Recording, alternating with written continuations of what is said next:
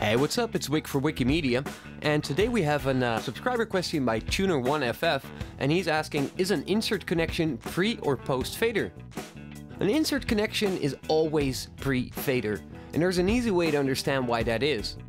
See, if this is our signal path and our signal is traveling down the channel strip, imagine the insert point being after the fader. So if we have an, uh, a compressor or a gate inserted on that channel, what would happen if we lower the fader? That means the signal being sent to that device has a lower level and thus we'll have to set the compressor again. It also would make automation a really painful process as well.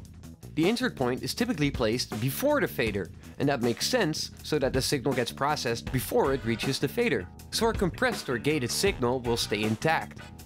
I hope this helped you out.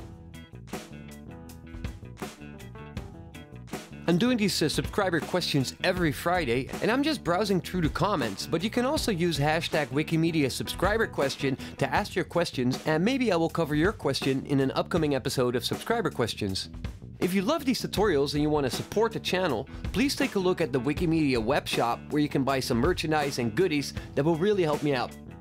As always, this was Wick for WickieMedia. Thank you guys for watching, and I hope to see y'all soon. Peace!